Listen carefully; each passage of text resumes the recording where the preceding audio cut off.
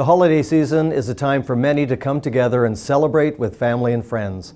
But the added stress of the holidays can take their toll, particularly on those dealing with mental health and substance use challenges.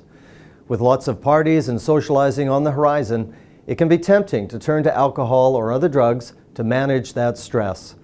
But as you know, BC is facing a drug overdose epidemic. And we are working with partners at all levels to prevent overdoses, including setting up overdose prevention sites across the province.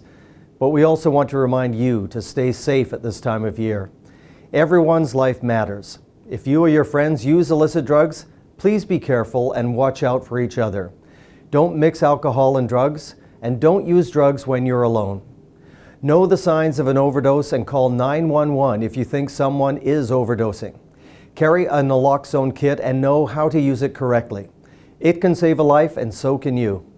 Also know that recovery from addiction is possible. Call 811 to find out where you can get naloxone and where you can get help if you're ready to start on the path to recovery.